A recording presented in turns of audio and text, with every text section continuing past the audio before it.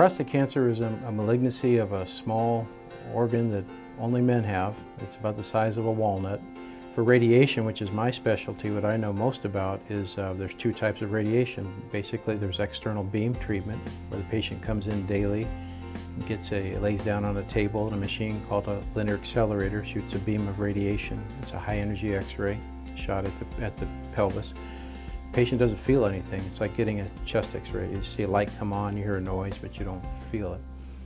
The other type is internal, or what we call brachytherapy. What that means is you're putting radiation very near the tumor, which in this case in prostate cancer means putting needles through the skin uh, into the prostate.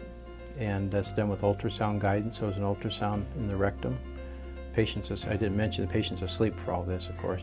So the patient's asleep, the ultrasound probes in the rectum, we put a series of needles through the skin under the ultrasound guidance, and once the needles are in place, then we, we put tiny radioactive pellets into the, the needles and take the needles out and then leave these rows of pellets. Some, a lot of people call that the seed implant. That's a, people, a lot of people are, are, familiar with that one. And that's a nice treatment because it's just one episode of care. You come in under, uh, it's an outpatient procedure.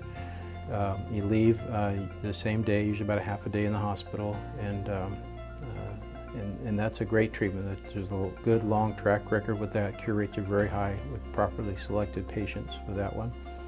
The other option uh, for brachytherapy is called high dose rate brachytherapy or HDR. SEEDS is LDR, this is HDR where we, it's a very similar principle. It's ultrasound driven.